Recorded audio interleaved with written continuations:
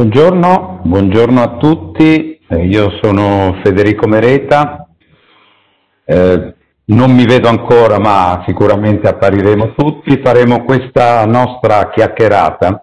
Io partirei, seguendo anche le parole del sindaco Bucci, da un vecchio detto che diceva mia nonna, visto che siamo molto genovesi e dobbiamo parlare anche di una realtà di Genova che è molto specifica. Mia nonna che viveva nella Valle Scrivio, una valle nell'entroterra genovese, diceva eh, le bello veni vegi, ma le brutto essilo. Tradotto per chi eh, non conosce il dialetto, eh, è bello diventare anziani, ma è brutto esserlo. Ecco, io credo che il processo che dovremmo fare tutti assieme oggi, con questa sessione dedicata a vaccini e ricerca, che appunto siamo, e soprattutto alle misure che sono fondamentali per mantenere in salute, aggiungere vita agli anni, visto che abbiamo aggiunto anni alla vita, come consiglia l'OMS, sia proprio questo. E io chiederei a Sandra Zampa, in un momento così complesso come quello che stiamo vivendo, e in effetti ce lo dimostra eh, quanto noi oggi cerchiamo di fare in collegamenti tutti in remoto, eh, che cosa succede e perché il Silver è una figura sempre più da tutelare in questo momento?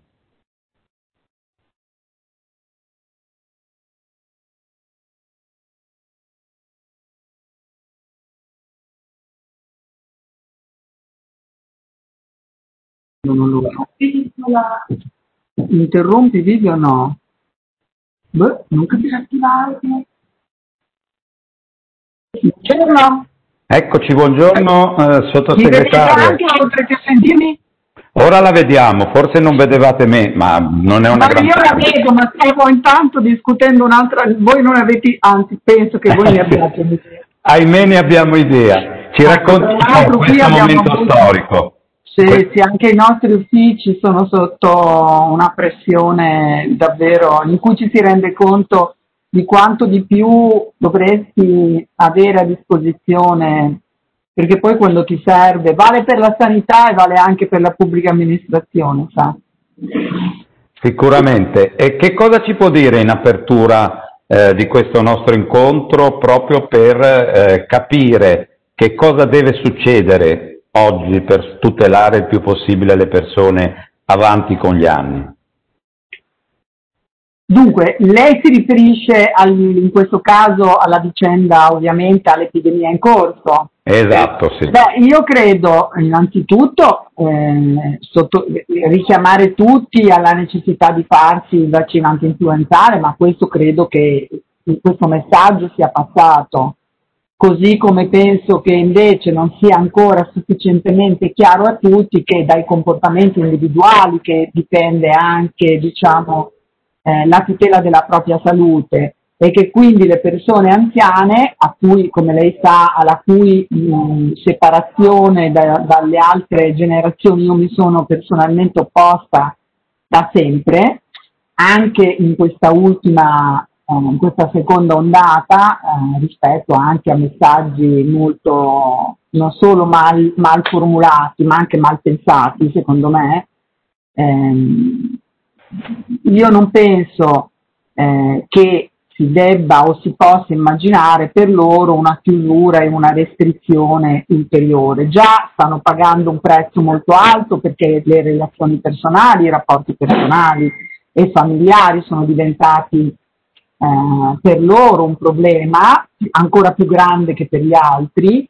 e quindi io credo che vadano semmai accompagnati con misure, per esempio quest'area la Liguria, dato che tutti abbiamo bacchettato il presidente Toti, però io ho trovato molto ehm, opportuno che sia stata messa a disposizione una quota rilevante per i buoni taxi. Questa è una buona idea di non di evitare che le persone anziane debbano trovarsi in realtà a, a contatto magari sugli autobus, sui mezzi pubblici, così come bisogna assolutamente sensibilizzare tutti riguardo al fatto che non possono in questo momento svolgere quella attività che li rende in realtà enormemente produttivi di sostegno al welfare delle loro famiglie, cioè diventare babysitter quelli che tengono i bambini, in questo momento assolutamente no.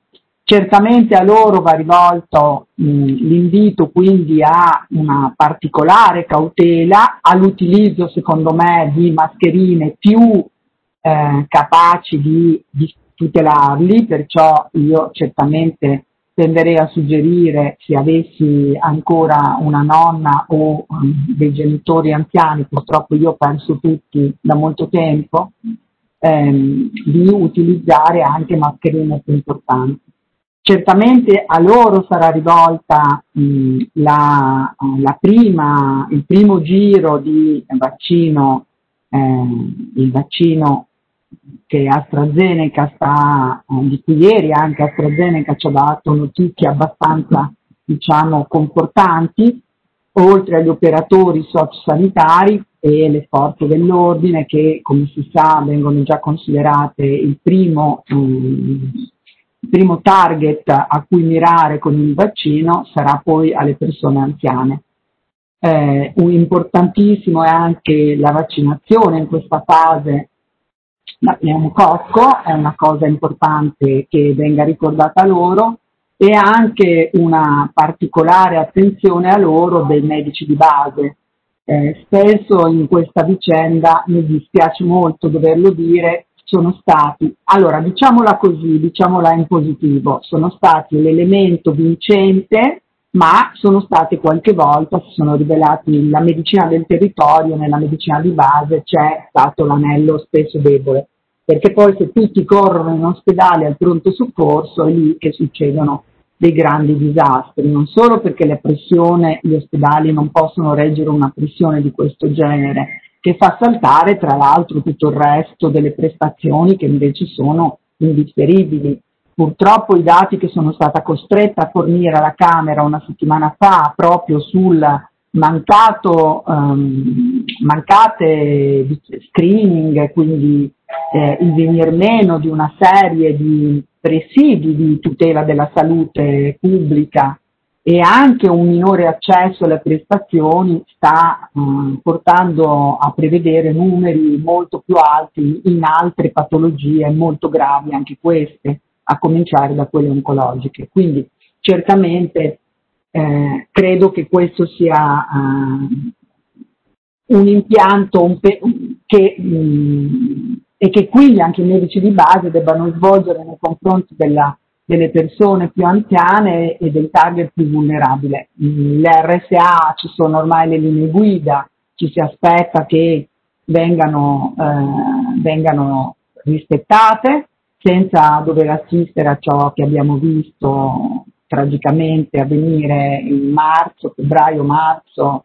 eh, scorso. Voglio aggiungere però un punto, eh, perché ci tengo molto, una cosa cui ho, dire, su cui anche eh, insisto moltissimo con il Ministro. Eh, vanno garantite però relazioni alle persone che stanno nell'RSA. Io penso che bastano pochi strumenti anche a distanza, perché se una persona anziana, fragile, ormai e anche in una condizione di solitudine molto grande ha la possibilità anche semplicemente con un iPad di vedere tutti i giorni il proprio figlio o figlia o i propri nipoti e di, di scambiarsi due parole, questo è un elemento anche nella tenuta complessiva psicologica che è molto molto più importante di quanto noi possiamo immaginare. Eh, grazie, grazie al sottosegretario Zampa. Le chiederei una cosa proprio in un minuto. Passata tutta questa buriana, eh, questa silver economy, questo paese che comunque eh, tende ad avere un'età media della popolazione che si alza, in che modo mh, dovrà dare delle ricette perché gli anziani possano vivere bene la terza età? Guardi, una cosa che non ho detto, così la ringrazio di questa domanda. Lei sa che in questo momento sta lavorando qui e si è insediata una commissione apposta. Questa è una cosa che molto, molto apprezzato. Anche questa è stata una decisione che il Ministro ha preso, è stata un, nel corso dei mesi della, diciamo, purtroppo della, in cui l'epidemia era arrivata a, a, a livelli più alti, eh, è stata anche questo, è stato oggetto spesso di un confronto tra noi. Eh, io credo che la sanità debba sempre di più eh, sapere prevedere anche con modelli predittivi e quindi anticipare eh, con la prevenzione, con l'invecchiamento attivo, con anche però eh, immaginando anche progettando un modello diverso di presa in carico degli anziani.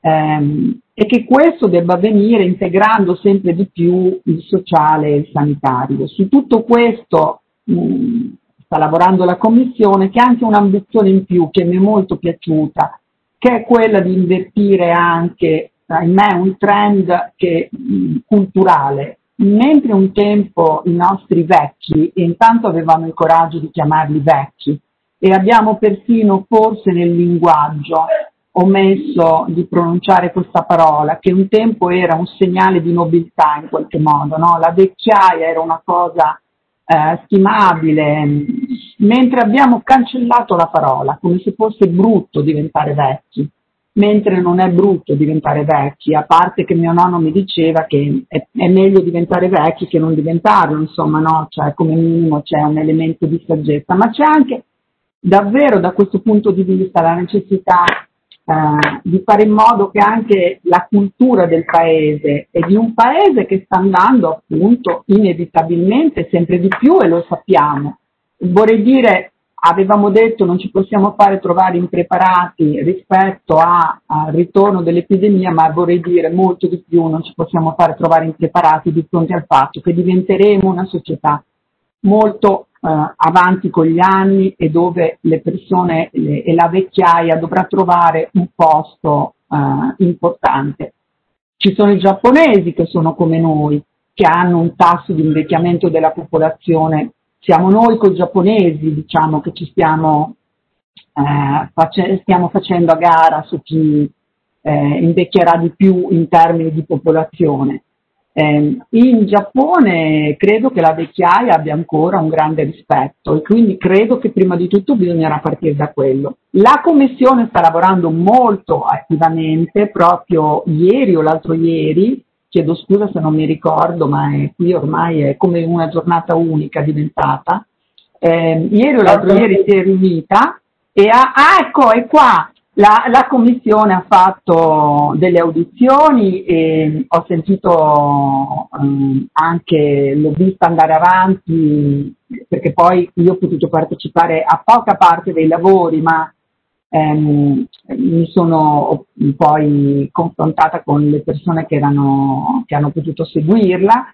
Eh, eh, io spero che da lì arrivino cose molto significative. Dentro questo ministero c'è già in corso anche un confronto su questo tema dell'integrazione sociosanitaria, è il nodo, secondo me, quando noi parliamo eh, di terza età perché ehm, spesso finiamo con il sanitarizzare oppure addirittura produrre una situazione che mh, finisce con l'andare a carico del servizio sanitario quando invece avresti potuto anticipare con qualche mossa ehm, strategica una condizione che non diventa patologia.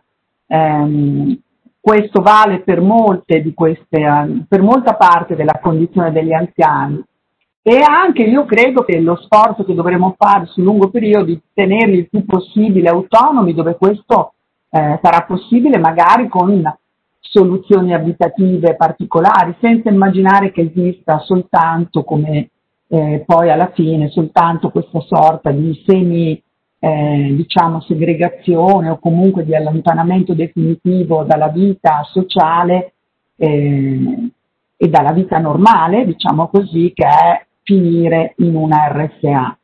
Eh, bisogna che le persone che sono ancora in grado di avere una vita attiva siano messe nella condizione di poterlo fare mh, davvero e diciamo con sicurezza. Grazie, grazie eh, all'onorevole Sandra Zampa che è sottosegretario al Ministero della Salute. A me viene in mente, guarda, capita di scrivere sul secolo XIX eh, a lungo è stata portata avanti proprio una pagina dedicata eh, alla Silver Economy. Ogni tanto c'erano queste tematiche a metà tra il sociale e il sanitario e io ricordo di aver fatto una pagina sulle bocce, sul bello del gioco delle bocce, perché significa in un unico passaggio fondamentalmente attribuire il rapporto con gli altri, l'attività fisica, il cervello e la coordinazione dei sensi. Eh, sembrano banalità, ma tutti questi aspetti, riuscire a mantenerli in un ambito così importante è fondamentale. Eh, ora torno un attimo sulla cronaca eh, con Matteo Bassetti, eh, perché eh, stiamo vivendo ovviamente una realtà, quindi faremo questo, passo, questo salto tra eh, gestione generale ottimale della terza età e quanto stiamo vivendo, perché Matteo Bassetti è in prima linea come direttore della clinica di malattie infettive del San Martino proprio sull'approccio a quello che deve essere eh, la gestione delle misure che sono necessarie adesso per preservare il più possibile le persone avanti con gli anni. Matteo, eh, che, che, che, ci puoi dire su, su che cosa bisogna fare? Ma allora, intanto grazie per l'invito e mi sono molto piaciute le parole del sottosegretario Zampa che trovo sempre molto equilibrata, molto competente, molto posata, nel senso che se andiamo a vedere la situazione, io guarda, esco adesso dalle 41 stanze che ho alle mie spalle e ah, discutevamo proprio con i nostri, con i miei collaboratori di quanto questa malattia, quando colpisca le persone con più di 75 anni, sia una malattia devastante. Noi praticamente abbiamo imparato che cosa fare con tutti quelli che hanno meno di 75 anni e che non hanno comorbidità. Abbiamo imparato cosa fare, non vuol dire che qualcuno non possa andare male, è evidente che qualcuno purtroppo ancora va male, ma con gli altri, con la ventilazione, con i farmaci, correndesi, il cortisone, l'eparina, diciamo che nel 99% dei casi riusciamo a vincere, con gli ultra 75 anni purtroppo abbiamo un grosso problema, che c'è una situazione di base, di fragilità di base, che anche con i presidi più moderni e con i presidi migliori purtroppo la situazione non riusciamo a cambiarla. Questo era già presente prima perché la mortalità o la morbilità o la devastazione delle malattie infettive, dall'influenza allo pneumococco per passare per la legionella o per le altre malattie eh, che conosciamo, ha sempre avuto una letalità molto più elevata ma è evidentemente ancora maggiore oggi di fronte al Covid che è di fronte agli occhi di tutti. Il Covid non ha fatto altro che portare all'attenzione della popolazione che prima pensava che le malattie infettive non esistessero, un problema che già conoscevamo. Cioè eh, è chiaro che oggi abbiamo dei numeri enormi rispetto a quelli che abbiamo normalmente, ma lo pneumococco piuttosto che altri microorganismi dà dei problemi molto grossi nelle persone anziane. Quindi secondo me oggi noi dovremmo potenzialmente guardare di più a queste persone, ehm, anche per quello che riguarda le misure di eh, prevenzione. Va bene i vaccini, dobbiamo vaccinare per l'influenza, dobbiamo vaccinare per il pneumococco, però ecco, devo dire che eh, io ho, ho, ho, molto apprezzato le ultime misure del governo, del DPCM con la divisione in fasce, però probabilmente sarebbe stato opportuno anche guardare a una divisione in fasce per quanto riguarda degli aiuti, che non vuol dire confinarli a casa, vuol dire probabilmente cercare di differenziarli, perché guarda, io stamattina venendo a lavorare mi sono divertito a guardare chi c'era sull'autobus che prendeva mio figlio, mio figlio pigliava l'autobus alle sette e mezzo. Sapete chi c'era alla fermata dell'autobus davanti a casa mia? C'erano due ragazzi e c'erano tre ultra settantenni sicuramente. E allora io mi chiedo, ma perché alle sette e mezzo devi prendere la... Per carità, io dico che tutto, tutte, eh, non voglio dire che bisogna relegare in casa nessuno, però perché alle sette e mezzo chi non ha da recarsi in un posto di lavoro alle otto deve prendere l'autobus insieme a chi invece ha un orario molto ristretto? Allora, per esempio, una differenziazione di orari con dei percorsi preferenziali attraverso i voucher sui taxi, attraverso i, i, i noleggi con conducenti o attraverso anche gli stessi trasporti, credo che potrebbe essere un'iniziativa che mette in sicurezza o comunque cerca di mettere in sicurezza quella che oggi, ecco, ricordiamoci, per questo secondo me se ci dimentichiamo questo punto, è la categoria di persone che viene maggiormente colpita da questo virus, perché eh, dal punto di vista delle conseguenze eh, importanti e dal punto di vista della letalità. Quindi credo che eh, dobbiamo necessariamente andare verso questa direzione. Il secondo punto, secondo me molto importante, che ha detto il sottosegretario Zampa e condivido al 100%, e io mi sono preso anche la briga di andare contro ad alcuni eh, ordini anche della mia regione, è l'isolamento delle persone anziane. Io ho un reparto dove ho la fortuna di avere eh, eh, otto stanze che hanno un corridoio esterno, cioè la possibilità di visitare il paziente attraverso un corridoio esterno. Allora noi abbiamo il divieto di far entrare all'interno giustamente del reparto i visitatori, ma noi abbiamo mantenuto la possibilità che le persone, soprattutto quelle più anziane, abbiano qualcuno che li vada a farli vedere almeno dal vetro, perché le persone anziane, se gli facciamo vedere i parenti da, da, una, da un tablet o da un iPhone, non, è, non, non, sono in grado, sono giovani che ormai sono abituati a fare la chiamata con FaceTime, hanno bisogno di, di vedere fisicamente, anche attraverso un vetro, le persone. E credo che avere in qualche modo chiuso completamente la possibilità di avere visitatori, soprattutto nelle RSA, nelle strutture assistenziali, alla fine non so quanto abbia giovato, perché sì che non gli abbiamo fatto morire il coronavirus, ma magari gli abbiamo fatti morire di solitudine, che è forse anche peggio. Grazie, grazie a Matteo Bassetti, eh, poi magari ne parleremo perché in effetti eh, credo che anche dal punto di vista politico sia da eh, capire quale deve essere l'ottimale integrazione tra sociale e sanitario, perché poi alla fine eh, il grande problema, che uno dei tanti grandi problemi che Covid-19 ha slatentizzato e che ci sta insegnando comunque, perché si può anche cogliere eh, pur con tutto il marasma che ci crea come un'opportunità di crescita, è eh, comprendere tutti questi passaggi che stiamo elencando e vedere davvero come dare un benessere il più possibile a 360 gradi alla persona anziana, perché altrimenti si rischia di dire sì, io seguo l'aspetto fisico in modo che la persona stia al meglio possibile e magari mi dimentico di aspetti, quello che diceva Matteo Bassetti è fondamentale, il rapporto umano, il rapporto con gli altri, perché poi anche solo dal punto di vista dell'attività cerebrale, poi lo chiederò eh, al professor Barbagallo, eh, cosa vuol dire avere un approccio alla terza età che sia globale? Sicuramente fondamentale. Eh, chiamo in causa Giovanni Rezza, che, è, che ci ha raggiunto, che è il direttore generale della prevenzione presso il Ministero della Salute. Eh, perché? Perché in questo momento, eh, Giovanni, eh, credo sia importante eh, capire che cosa dobbiamo fare, i 4-5 consigli fondamentali in termini di prevenzione che si debbono dare alla terza età. Prego Giovanni.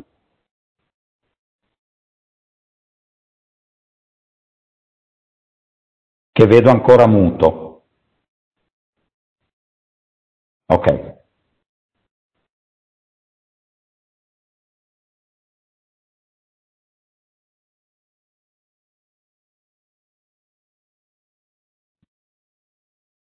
Io non lo sento, ma... Ok. il dottor Rezza è collegato, ma probabilmente non è al momento al monitor, magari... Ok, lo riprendiamo dopo.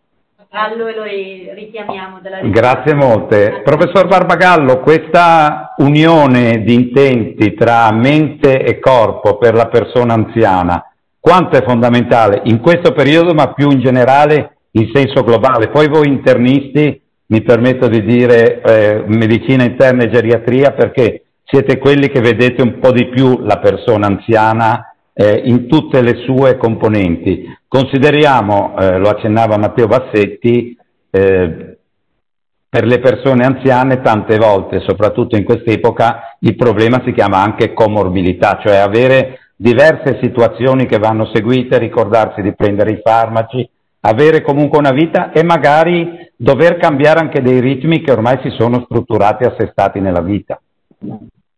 Grazie dottor eh, Mereta, no, è un, tanto un piacere essere qua, poi ho, ho, sentito con grande piacere le parole del eh, sottosegretario eh, onorevole Zampa, con cui eravamo insieme proprio due giorni fa in questa commissione che mi fa piacere abbia ricordato che si sta occupando proprio di tutti questi temi eh, dell'assistenza all'anziano a 360 gradi, non soltanto sanitari, anche eh, sociali. Tra l'altro, in, in, particolare io come anche componente del Consiglio Superiore di Sanità eh, ho, abbiamo lavorato a un documento che eh, eh sarà acquisito dalla Commissione che si occuperà a 360 gradi proprio di questo argomento. Tuttavia, eh, prima di ehm, parlare un, del lato positivo dell'invecchiamento, perché noi l'invecchiamento non è soltanto uh, senectus ipsa morbus, come dicevano gli antichi, ma è invece è sempre più ha tanti aspetti positivi. Devo uh, precisare, anche io sono uh, direttore di un dipartimento Covid e, e, devo dire che non, il fattore età è, è soltanto una parte del problema uh, Covid, perché il problema più importante è proprio la, com- la comorbilità. Tan- oggi vediamo anche tanti giovani con comorbilità che hanno del, delle conseguenze. Quindi eh, eh, e su questo oh, il, mi ha fatto piacere che l'abbia ricordato l'onorevole Zampa sono perfettamente d'accordo con il, eh, il sottosegretario Zampa, una, uh, parlare di età è veramente preistorico, Dobbiamo parlare di funzione eh, fisica, di funzione mentale, eh, di capacità funzionale e eh, a prescindere veramente da, dall'età. Eh, io vorrei quindi oggi parlare dei lati positivi che ha l'invecchiamento, parliamo di silver economy e questa è il, la parte eh, nuova del, del, nostro tempo. Eh, se posso condividere alcune eh, eh, diapositive eh, che eccole qua. Eh, del, eh, la Silver Economy, oh, si vedono le diapositive? Sì. Comunque, sì, sì. è una parte importante dell'economia che riguarda i soggetti anziani ed in, in diversi settori può arrivare fino al 40% del prodotto interno oh, lordo e, ed è stata eh, coniato questo termine Silver Economy su cui il vostro convegno importante è, eh, si basa proprio perché l'economia ha delle dimensioni enormi, in questo momento 3.7 trilioni di euro che diventeranno nei prossimi 5 anni eh, fino a diventare 6.4 trilioni di euro è addirittura la terza economia più grande in Europa dopo quella degli Stati Uniti e, e la Cina. Soltanto alcuni dati epidemiologici eh, come introduzione al convegno di cui si parlerà nei prossimi eh, tre giorni. Oggi abbiamo quasi eh, 23% di eh, over 65 eh, anziani e, ehm, eh, che diventeranno oh, ancora di più nei prossimi, nei prossimi anni. E abbiamo anche oltre il 7% di over ottantenni quindi un numero uh, importante. Vedete quello che succederà nei prossimi anni, parliamo fino al 33-34% di over 65 anni, non so se si vede bene la diapositiva, e eh, 8-9% di over eh, ottantenni. Quindi una uh, incidenza importante e potenziale del mercato, 17 milioni eh, sono oh, diciamo, oh, oh, eh, in questo momento, 17-18 milioni diventeranno 23-24 milioni nei prossimi 20 eh, anni. Tant'è vero che negli Stati Uniti oramai si parla proprio di, di longevity economy, questo è uno studio della Oxford Economics, come le persone over 50 possono uh, pilotare, driving, l'economica, eh, la eh, potenziale economica degli, degli, Stati Uniti. Ed eh, l'economia della longevità eh, un, è un modello proprio di prosperità economica e di innovazione dei nostri tempi. Questo è un dato secondo me molto importante perché noi ricordiamo la crisi del 2008-2012 che ha portato una serie di problematiche eh, importanti nel nostro, nel nostro paese e in tutto il mondo. E vedete quello che è successo nel capo famiglia in Italia, eh, sono dati dell'Istat, vedete che nel 65enne non c'è stata questa perdita eh, economica che c'è stata in altre, fasce, in altre fasce di età. Vedete come in verde gli over, 60, gli over 65 eh, hanno mantenuto diciamo, la loro eh, capacità economica, mentre invece le altre fasce, tutte più giovani, hanno avuto una perdita economica importante. E questo è un dato uh, di, di, fatto su cui bisogna, uh, secondo me, ragionare. Il, il, ancora, la Silver Economy in questo momento ha una base economica importante, una ricchezza uh, media uh, nel, intorno a 250 mila euro nel 40% tra i 55 e i 65 anni ed il 30% over 65. Quindi molto spesso hanno un reddito con un potere d'acquisto anche imp- importante che ci fa capire la uh, potenzialità di questa uh, silver, silver economy. Quindi possono essere, stanno diventando sempre di più, questo convegno è proprio deve essere visto in termini positivi, non soltanto in termini eh, negativi con nuovo target del, del, marketing, perché i nuovi anziani, a prescindere, ripeto, dall'età, ma visti nel, nel, con la loro funzione fisica, sono i più in salute, i più attivi, i più longevi della storia dell'umanità hanno spesso una buona pensione e per cui sono anche un, un obiettivo importante del eh, marketing.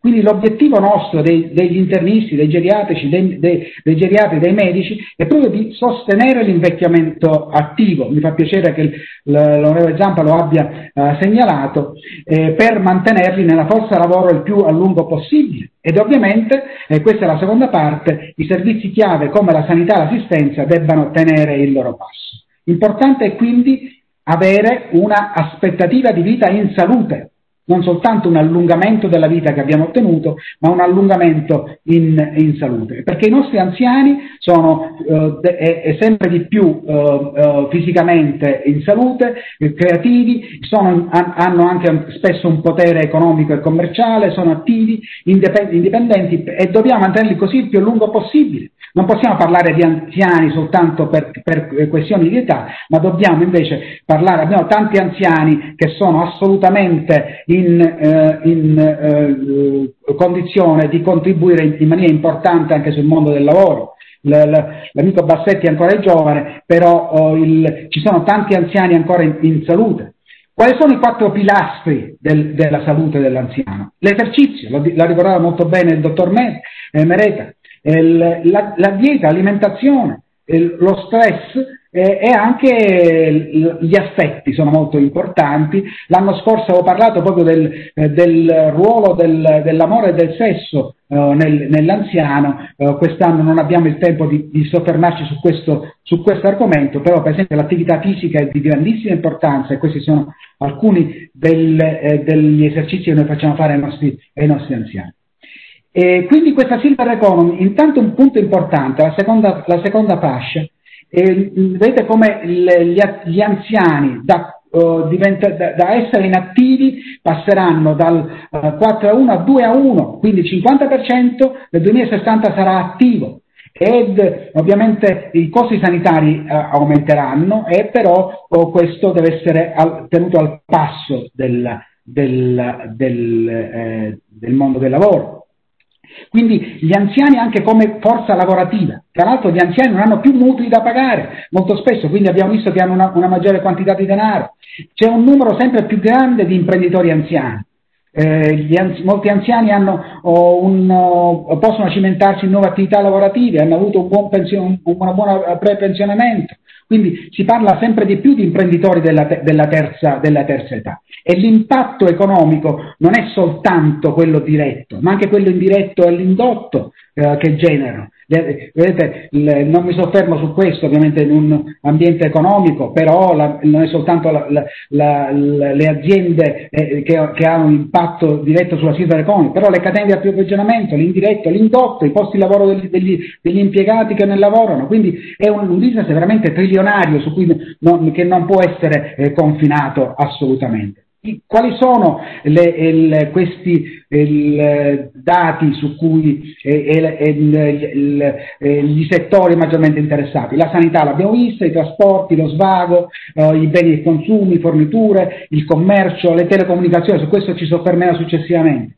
Vedete che gli anziani spendono tanto, soprattutto riguardo all'abitazione, ma anche la moda. Si vogliono, parlavo poco fa del tenersi in forma, moda e cosmetici vengono uh, utilizzati tantissimo dagli anziani e, e, spendono, ripeto, tanto anche nei, spesa per la, per, la, per la, salute. Vedete, abitazione, la, la media in Italia in questo momento quasi 1000 euro per l'abitazione, trasporti, spese, sanitarie, mobili, ricreazione, abbigliamento, servizi ricettivi, comunicazioni, vedete istruzione, anche di questo accenneremo, vedete che indotto enorme che può creare la, la silver economy. Quindi ancora mi fa particolarmente piacere fare parte eh, di questo, di questo, oh, di questo convegno che si dedica a questa, questa uh, uh, parte del, uh, del, dell'economia eh, spendono di più, dicevo, in silver in, servizi sanitari, in servizi ricreativi e cultura, in articoli per la casa, Dicevo anche per quanto riguarda i farmaci, eh, facevo vedere l'anno scorso l'aumento eh, che tra i farmaci c'è, un, c'è, stato un aumento enorme proprio nei farmaci che, usati nella disfunzione rettile, proprio a testimoniare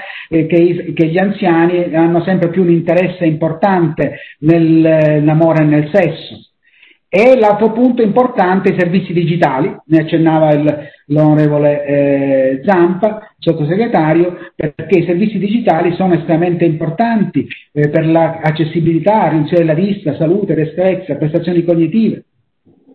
Quindi una serie di, di eh, settori saranno particolarmente, eh, avranno un particolare beneficio dall'enorme dal, nu- numero di persone anziane in buona salute che eh, aumenterà nei prossimi, nei prossimi, anni. E già eh, molti centri commerciali si stanno adeguando e quindi le, le, le, abbiamo parlato dell'IES, dello smart home, dei, dei, robot che possono in parte aiutare a sostituire intermedi e badanti. Questi sono dati della, della uh, uh, European uh, Commission che mostra appunto alcuni di quei settori. Il, Professore, la pregherei di andare verso la chiusura così poi sentiamo anche Giovanni Rezza. Grazie. Il, però questo punto credo sia eh, importante perché riassume un po' quello che noi abbiamo detto fino adesso. Una piattaforma eh, per, anzi questa direi che proprio può essere anche l'ultima diapositiva, eh, perché proprio eh, riassume il, i, i, i, i, settori più importanti nella, eh, nella, della silver economy. La, una, un, il, il digitale, gli anziani che fanno impresa, macchine e automobili sempre più per, anziani, per, per gli anziani, le università, eh, quindi la cultura dell'anziano, il, il, il, benessere anche dello stile di vita, eh, gli ambienti, le città, eh, su questo si potrebbe fare proprio un convegno sulle città e, e a, a, misura di anziano, il, il turismo, la robotica, la uh, connessione digitale. Questi sono tutti i settori su cui in, in, ciascuno di questi potremmo fare una sessione un convegno, ma su cui eh, credo che sia importante eh, segnalare la possibilità di sviluppo enorme che avranno nei prossimi anni. Quindi anziano non soltanto come peso per la società, ma anziano come, for- come eh, fonte di sviluppo, di economia e di eh, aiuto proprio all'economia eh, del, del Paese. Longevity economy. Grazie ancora a tutti quanti. Eh, grazie, grazie professor Barbagallo. Noi abbiamo ancora più o meno un uh, quarto d'ora, 20 minuti per chiacchierare. Eh, ho visto che è arrivato Giovanni Rezza, che è direttore generale della prevenzione presso il Ministero della Salute. Dalle parole del professor Barbagallo, eh, Giovanni è emerso chiaramente come la prevenzione sia un valore, prevenzione dal punto di vista sociale, prevenzione dal punto di vista anche ovviamente sanitario. In un momento come questo già eh, l'onorevole Zampa ha accennato l'importanza delle vaccinazioni per influenza, pneumococco, eccetera. Matteo Bassetti ci ha un po' spiegato il percorso che eh, l'anziano in chiave di prevenzione dovrebbe avere anche nelle abitudini di vita, ad esempio non prendere i mezzi la mattina alle sette e mezza. Ecco, eh, dal tuo punto di vista, quale può essere l'approccio ottimale in una fase come questa, ma più in generale per l'anziano di oggi e di domani? Beh, intanto che si parli di anziani è bene, e meno male che abbiamo tanti anziani, perché vuol dire che la vita, la speranza di vita nel nostro paese si è allungata di molto. Dopo è chiaro che una società in cui sia predominante la, il numero di anziani è una società che comunque sia si deve porre questo problema e l'abbiamo visto anche in questa crisi Covid, insomma, quanto una società anziana dopo sia possa rendersi fragile di fronte ad eventi eh, inattesi. Il, dal punto di vista della prevenzione, io credo, parlate, avete parlato di vaccinazioni, è stato fatto molto, eh, soprattutto nel settore delle vaccinazioni. Ricordiamo dietro l'impulso di quello che è stato un po' il calendario per, per la vita, eh, messo a punto da diverse società scientifiche, il Ministero della Salute varò eh, quel piano nazionale di prevenzione vaccinale 2017-2019, che resta un po' la, la Bibbia diciamo, delle eh, vaccinazioni in Italia, un calendario vaccinale particolarmente innovativo, uno spettro di vaccini inseriti nell'EA, quindi offerti attivamente e gratuitamente eh, a tutte le età della vita. La, come la sottosegretaria Zampa evidentemente eh, ricordava, io purtroppo mi sono dovuto collegare adesso perché sono giorni piuttosto concitati, sono mesi concitati, un anno concitato, questi sono giorni concitati all'interno di un anno particolarmente, eh, particolarmente eh, duro. Eh, il, però il, il, i vaccini contro la triade maledetta dell'anziano, influenza, pneumococco e zoster sono presenti nel nostro calendario ormai, ormai da tempo. Uno dei problemi che si è posto è quello del calo delle o perlomeno del mancato aumento delle coperture vaccinali negli adulti e negli anziani, perché eh, a causa dell'emergenza Covid, o anche per la paura ad afferire alle strutture eh, sanitarie, un po' perché i servizi territoriali sono stati messi a dura prova durante questi mesi, con personale spostato magari dai servizi vaccinali o di screening verso il, eh, dire, il controllo e contenimento del, dell'epidemia eh, di Covid-19, questo ha fatto sì che si eh, creassero sostanzialmente dei disservizi con conseguente diminuzione delle coperture vaccinali, non tanto che non ha, riguardato, no, non ha tanto riguardato le eh, vaccinazioni del, dell'infanzia, quelle relative ai vaccini obbligatori, tanto per intendersi, quanto proprio le vaccinazioni dell'anziano, ma anche dell'adolescente, per esempio non stiamo andando bene con l'HPV. Per quanto riguarda l'anziano, noi sappiamo che abbiamo delle coperture vaccinali per l'influenza che non sono mai state ottimali, abbiamo superato di poco il 50%, quindi poco più di un anziano su due si vaccina contro l'influenza ogni anno, eh, per lo pneumococco le cose sono andate un po' meglio nel corso degli anni, per lo zoster non ne parliamo, abbiamo le coperture vaccinali che sono assolutamente, assolutamente insoddisfacenti. Chiaramente questo eh, problema è stato acuito durante, durante questi mesi. Eh, giustamente gli anziani uscivano poco di casa e quindi eh, eh, eh pretendere che andassero ai centri vaccinali perché solo il vaccino anti-influenzale fatto praticamente dal medico di medicina generale, gli altri bisogna rivolgersi a servizi appositi. E chiaramente questo ha comportato un mancato aumento delle coperture vaccinali e può rappresentare eh, naturalmente un, un, problema. Il Covid anche ha messo in, in dura prova eh, i nostri anziani e abbiamo visto come una popolazione anziana possa avere dei tassi di letalità che sono più elevati rispetto a quelli di una popolazione più giovane. Se facciamo il confronto fra Italia e Cina, dove la composizione per età della popolazione sicuramente è diversa dalla nostra, abbiamo visto che i tassi di letalità e di mortalità sono molto più elevati sono stati più elevati in Italia che non, che non per esempio in Cina e questo è spiegato in gran parte dalla diversa distribuzione per età, per fasce di età della, eh, della popolazione. Adesso c'è un gran parlare su come difendere eh, gli anziani, per esempio, dal, eh, da questa eh, epidemia di Covid. C'è qualcuno che dice ah, bisogna fare delle misure spe- età specifiche.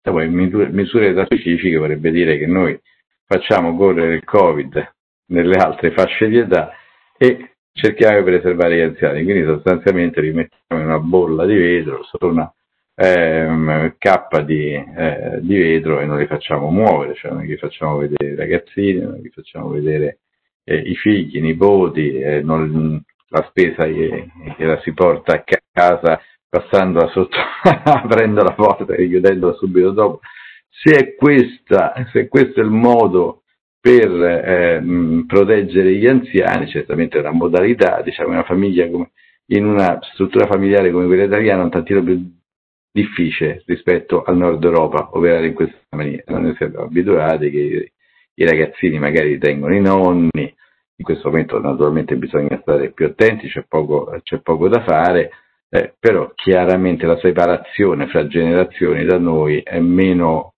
forte che non in alcune società del nord Europa. La maniera migliore per proteggere gli anziani è non far circolare il virus, farlo circolare a bassa intensità in tutta la comunità.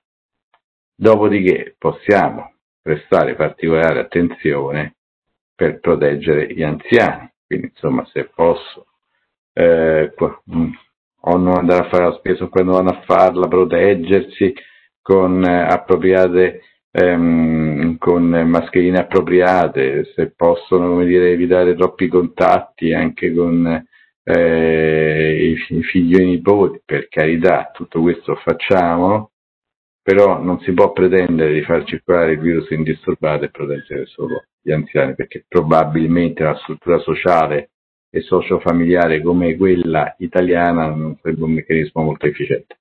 Gli anziani però lo stanno facendo, eh.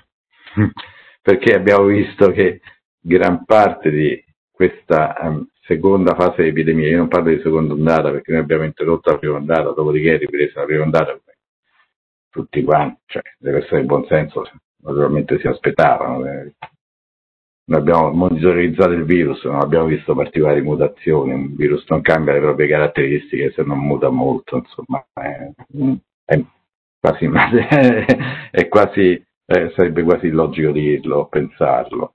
Eh, semplicemente abbiamo visto gli effetti del lockdown sono durati molto, dopo l'estate un po' aiuta, perché per carità ehm, si vive di meno in luoghi affollati, chiudono le scuole, chiudono gli uffici, insomma c'è un distanziamento sociale naturale d'estate, ecco.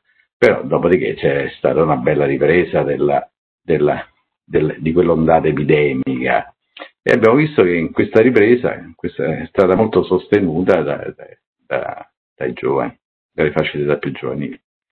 Gli anziani sono stati relativamente poco colpiti li vediamo colpiti nell'RSA, per carità, perché se il virus entra in una RSA purtroppo fa danni, ma vediamo che i casi nella comunità sono stati relativamente pochi fino ad ora, perché un po' si sono autoprotetti, diciamo, diciamo la verità.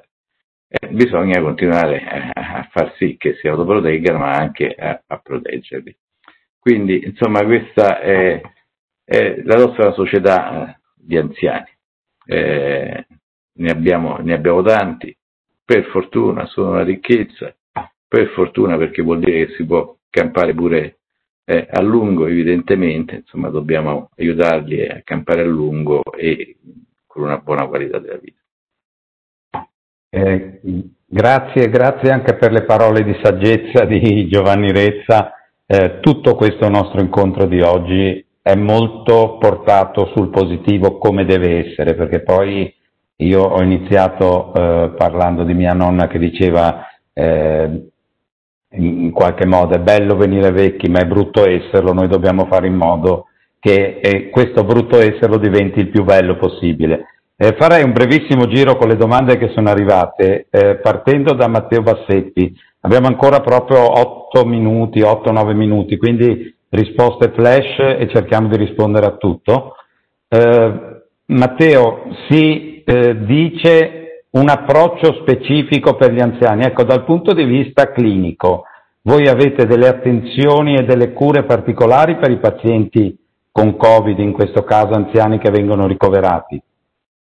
Ma guarda, le, le, il protocollo di cura che noi utilizziamo è il medesimo, quindi noi interveniamo eh, con i farmaci che conosciamo, cioè fondamentalmente quelli che oggi sono raccomandati dalle linee guida internazionali, il Rendesevir se arrivano entro i 10 giorni dall'esordio dei sintomi e se hanno un'insufficienza respiratoria, eh, il cortisone che è utilizzato nelle fasi più avanzate di malattia e qui consentimi di dare un messaggio perché vedo tanta confusione oggi, ma tantissima. Noi riceviamo pazienti pasticciati a casa da terapie fatte male, autoprescritte o prescritte da persone che non hanno la minima idea di che cosa voglia dire gestire questa infezione, che prescrivendo eparina, cortisone, eh, antipiretici pensano di fare il bene del paziente, nella realtà stanno facendo il suo male. Noi riceviamo molti malati che probabilmente se non avessero fatto questi farmaci, sto parlando di anziani, sarebbero andati molto meglio perché quando si usa il cortisone troppo precocemente si va a fare il male del paziente, perché anche quella poca risposta che il malato anziano ha,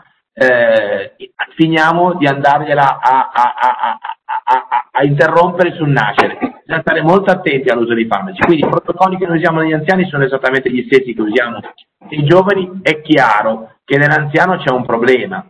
La compliance ad alcuni mezzi di ventilazione che ne utilizziamo, per esempio i caschi, è evidente che non è esattamente la stessa che può avere un soggetto giovane cioè quando tu metti il casco a una persona anziana di 80, 85, 90 anni, non è così semplice tenerlo perché magari c'è da parte del soggetto stesso una minore accettazione. Però consentimi di dire una cosa, che Gianni ha detto una cosa giustissima, le vaccinazioni. Ma sai che io ho di là almeno 10 ultra ottantenni e nessuno è vaccinato per lo pneumococco? Allora, questo è scandaloso, scandaloso che in Italia, nonostante che il vaccino sia offerto gratuitamente, nonostante che abbiamo fatto campagne vaccinali, ci siano ancora una fetta enorme di ultra settantenni, ultra sessantacinquenni a cui il vaccino è offerto gratuitamente è portato negli studi dei medici che non si siano vaccinati. Quindi bisognerebbe, che il Covid eh, ci lascerà anche qualcosa di più sulle malattie infettive, cioè che la gente, eh, che i nostri colleghi medici eh, si rendano conto dell'importanza delle vaccinazioni, perché vedere così tanti anziani oggi non vaccinati per lo pneumococco, oltre che per eh, l'herpes, oltre che per eh, molte altre, l'influenza evidentemente, non essere vaccinati oggi per lo pneumococco mi fa, mi fa, mi fa molto male, ecco, devo dire. Eh, grazie Matteo, io faccio outing. Eh, è, è, vero Matteo, io, fa, io, ho fatto influenza e pneumococco quest'anno, così ho dato una bella botta al sistema immunitario. Eh, Gianni, pure io ho fatto lo pneumococco. A di due giorni. L'influenza me la devono ancora fare perché vado dal medico di famiglia, ma ho fatto lo pneumococco, quindi qualche messaggio passa. Eh, Gianni Rezza, in un, un minuto, eh, quando arriva questo vaccino per Covid? In un minuto, così siamo rapidi. Eh? no, beh, noi speriamo presto, nel senso che eh, ormai abbiamo diversi vaccini in eh, fase 3 eh, di sperimentazione, quindi molto avanzata. Eh, adesso a, io credo a metà novembre uno di questi, non faccio nomi naturalmente, ma almeno uno, almeno uno di questi, forse due, eh, andranno, in, andranno incontro a una interim analysis, quindi sì, comincerà a vedere mh, mm, che se hanno degli effetti, qual è l'efficacia.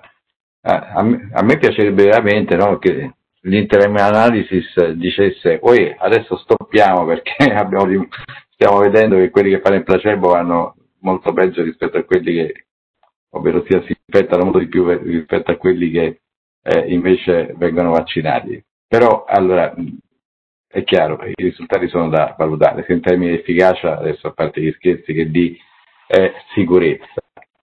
Io penso che entro fine anno avremo qualche risposta. Dopodiché, quando arriva il vaccino, allora, può anche arrivare la disponibilità delle prime dosi di vaccino, adesso io la butto lì, eh, ma fine anno, inizio dell'anno prossimo, primo trimestre dell'anno prossimo, quando volete. Il problema però non è che come il vaccino, fra virgolette, arriva, sarà disponibile per tutti, perché ci sarà una prima fase, sarà più dura anche da un punto di vista comunicativo eh, affrontarla, in cui si renderà disponibile a, poche, a piccole dosi, ci saranno disponibili poche dosi di vaccino. Allora lì bisognerà dare, allocare delle priorità, le stiamo valutando in questo momento, priorità che potrebbero essere gli anziani appunto, gli operatori sanitari, eh, Dopodiché, dopo questa prima fase, ci sarà uno scale up, un aumento della produzione di vaccino e quindi il numero di dosi aumenterà. Allora a quel punto potremmo vaccinare più persone. Quindi questo è il punto. Il vaccino potrebbe arrivare, potrebbe arrivare nella prima metà, nella primo trimestre, voglio sperare il prossimo anno. Io spero a gennaio piuttosto che alla fine di dicembre, piuttosto che a febbraio, però ecco, eh, abbiamo visto che eh, ci sono molti studi che dicono sì, gli anticorpi si perdono, ma ce ne sono altri che dicono dipende dal tipo di anticorpi che cerchi, perché ce ne sono di quelli che durano, che hanno una durata piuttosto lunga, quindi io sono fiducioso da questo punto di vista. Naturalmente però c'è un problema di, come dire, farne tanto, produrne tanto di vaccino in poco tempo e somministrarlo in poco tempo. E questo sarà uno dei problemi da risolvere. Sì, io ricordo perché tocca, ho scritto un pezzo proprio in questo periodo ricordando l'esperienza del professor Crovari, giusto di ecco. Genova, che raccontava eh, la prima vaccinazione di massa sulla poliomelite, 1963 mi sembra, e, e praticamente come il sistema si sia organizzato per fare in altre epoche, e in questo gli anziani ci insegnano, veramente un processo di vaccinazione rapidissimo, molto importante. Eh, 30 secondi per ognuno per chiudere, eh, professor Barbagallo e sottosegretario Zampa. A Yeve Dream, al convegno tra due o tre anni, quando non parleremo, speriamo, solo di Covid, eh, o magari ne parleremo come di un ricordo, eh, che cosa sarà cambiato nel vostro sogno per la terza età? Beh, eh, il, il, sogno è quello diciamo, del, della commissione per anziani cui, di cui parlavamo prima, cioè di aumentare i servizi territoriali, di spostare eh, sempre di più l'assistenza dell'anziano dall'ospedale al territorio. Da questo punto di vista le innovazioni tecnologiche, il, la digitalizzazione, sicuramente la, la, robotica, la tecnologia, la tecnoassistenza sicuramente daranno un supporto importante, però dall'altro noi dobbiamo, eh, lo Stato in generale, cercare di creare delle città e degli ambienti a misura, a misura di anziano, cioè di persone meno, meno abili, quindi eh, soprattutto per i, per i più anziani. Eh, grazie, è quanto aveva preconizzato il sindaco Bucci nella sua introduzione.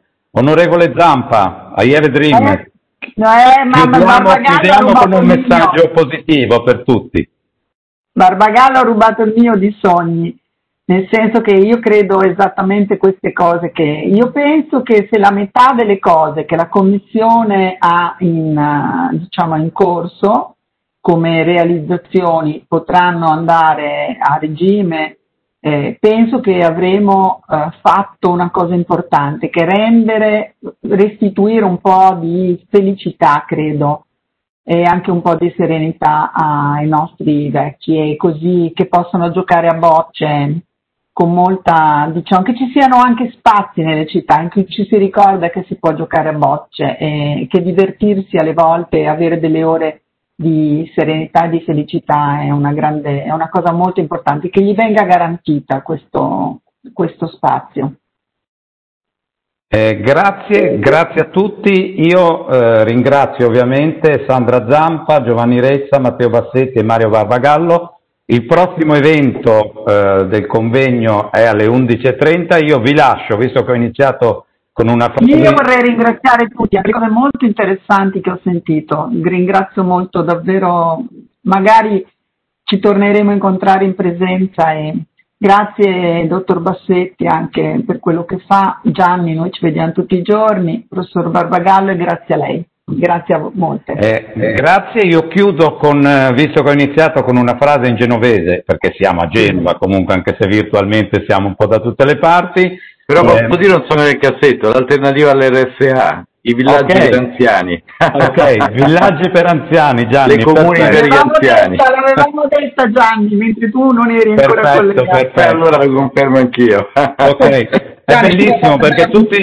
tutti ci stiamo disegnando un sogno, perché poi tutti fortunatamente e auspicabilmente eh, andremo verso la terza età, che poi è il messaggio. Allora vi lascio con questo messaggio in genovese che dice veni vegia lena mussa, che eh, mussa, ricordatevi che Matteo l'ha capita, eh, però eh, gli altri mussa in Veneto è la moglie dell'asino, a Genova è eh, la storia non vera, quindi ricordiamoci, eh, diventare vecchi è una cosa che non esiste, siamo sempre noi, cerchiamo di prevenirci, cerchiamo di star bene. Matteo, ti è piaciuta? Me l'hanno scritta. Ma sì, mi è piaciuta anche se bisogna dire che Mussa vuol dire anche un'altra cosa, però. Eh, lo so, lo so, però questa non la specifichiamo. È importante nel senso del professor Barbagallo che diceva... È la, è la femmina del Belin anche. Esatto. Eh, praticamente il professor Barbagallo diceva continuiamo ad avere una vita completa anche sotto l'aspetto sessuale ed è la seconda chiave di lettura di Mussa.